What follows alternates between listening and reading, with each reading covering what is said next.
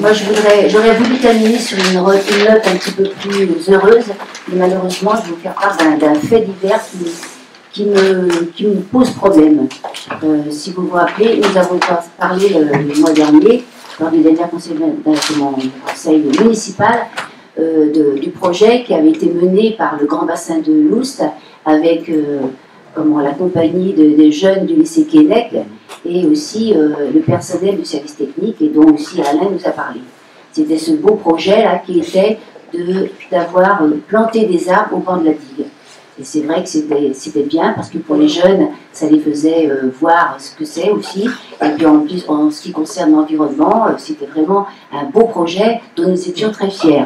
Eh bien, sachez que nous avons des vandales qui sont là à Malétroit et qui euh, n'ont fait qu'une chose, eux, eh bien, ils ont détruit la belle chose qui avait été faite, à savoir tous les arbres les, arbres qu'on avait appelés les arbres nobles, qui étaient tous protégés par des filets, ils ont tous été à 100% volés. Oui, c'est pas c'est volé. C'est du vandalisme pour moi, c'est scandaleux. Je suis désolée, je ne sais pas, je sais pas ce que ça peut apporter à ces gens d'avoir fait ce genre de choses. Euh, sincèrement, euh, je trouve que c'est pas porter haut euh, comment la nature humaine. Et c'est aussi montrer un sacré mauvais exemple à notre jeunesse.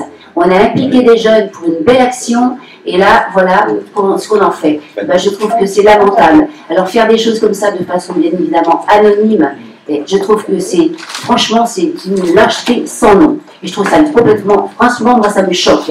Et j'espère que quand je vois tout ce, tout ce qui est abîmé dans la ville, souvent on nous reproche que l'on ne fait pas certains travaux parce que nous, nous n'avons pas les moyens. Et quand je vois aussi que systématiquement, lorsque nous entreprenons de, belles choses, certaines sont détruites, euh, les toilettes publiques qui sont ravagées euh, inconstamment, tout ça c'est des coûts aussi pour la commune. Et je suis sûre que si on faisait hein, le, montant de tout ce que ça coûte et de toutes les heures passées par les services techniques pour réparer ces choses-là, ben, je pense qu'on aurait pu faire quelques belles choses aussi dans la ville. Et je me dis aussi que tout ce temps passé, cette énergie très négative passée à faire ça, et eh bien si ces gens-là l'employaient pour faire des belles actions, je pense qu'on pourrait faire des choses merveilleuses à Malétroit.